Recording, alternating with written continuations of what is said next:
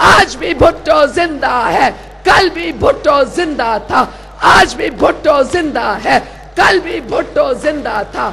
आज भी भुट्टो ज़िंदा है। पीपल्स पार्टी के चेयरमैन बिलावल भुट्टो जरदारी इतिहादी हुकूमत का हिस्सा बन गए। मैं शहीद जुल्फिकार अली भुट्टो का वारिस। मैं शहीद बेनजीर भुट्टो का बेटा।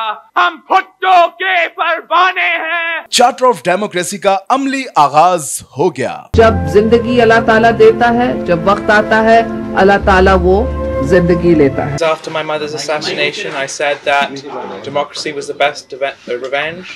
Indeed, democracy is the greatest revenge, and we are all very proud of our country today. Pakistan People's Party ने तारीख रकम कर दी मुझे फख्र है कि शहीद जुल्फकार अली भुट्टो का नवासा बेनजीर भुट्टो हमारा बेटा आपका वर्कर आपके दरमियान है।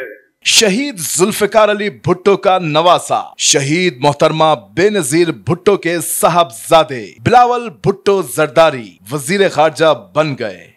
That there is hope for the future मुल्क की तारीख में पहली बार दो बड़ी सियासी जमातों के सरबरा एक ही काबीना में शामिल। अब वज़ीर खारजा बिलावल भुट्टो किन चैलेंजेस का करेंगे सामना? अवाम की नज़रें बिलावल भुट्टो जरदारी पर। दिहाइयों कबल शहीद जुल्फिकार अली भुट्टो ने भी बतौर वज़ीर खारजा अमली सियासत का आगाज़ किया था। पचास सालों के बाद तारीख दोहराई गई। बिलावल भुट्टो ने भी हमें अवाम के आँखों में इज़्ज़त की है और उनके दिल में मोहब्बत की जगह की ज़रूरत है।